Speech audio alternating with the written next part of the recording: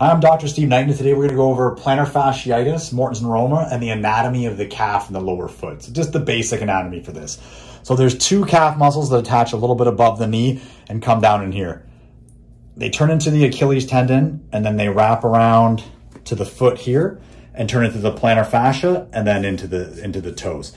So there's three arches in the bottom of the foot too. You can see we've already done some work on our model today. And one, two, and three for argument's sake and then up in here you have a bunch of a bunch of bones where your metatarsalgias uh, could occur there. So very basic for your calf. Two calf muscles come down, turn to the Achilles tendon, kind of right after the bulge here. Achilles turns the corner, turns in your plantar fascia. Your plantar fascia goes into your foot, and when people get Morton's neuroma, pain, or metatarsalgia, it's usually right across here in the base of that. Okay, so let's recap. Plantar fasciitis is characterized by pain in the bottom of the foot classically with those first few steps out of bed in the morning being really painful.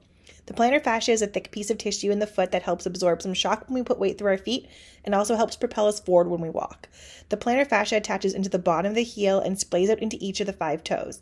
But as Dr. Steve mentioned, it also has connections up into the heel and calf.